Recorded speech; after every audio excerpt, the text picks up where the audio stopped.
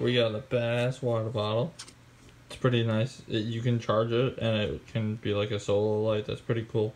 We got like a hidden pocket. It's pretty cool. Um, so you can like store like cash in it.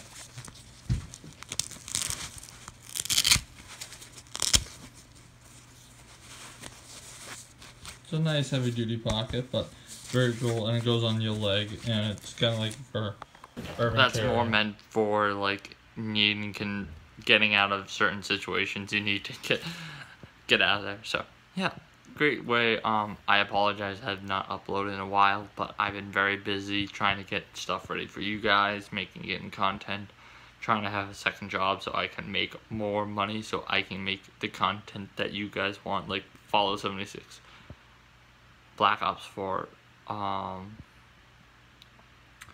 Crap, I can't think of all the games that are coming out. All the great games are coming out, but I don't have the cash with me right now to purchase all the games. So you all of the games can you want to see, I can produce. So that's why content has been slowing down and content has been very not fluent as usual. But yours will be starting back up in the end of in the middle of August. So don't worry taking a little break. I'll be coming back soon. Alright, peace out.